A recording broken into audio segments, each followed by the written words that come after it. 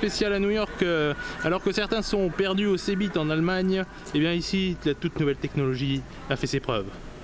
Attends, on m'appelle. Allô? Et voilà, le, tout nouveau téléphone anti-choc. Voilà, bientôt commercialisé en France, on l'espère.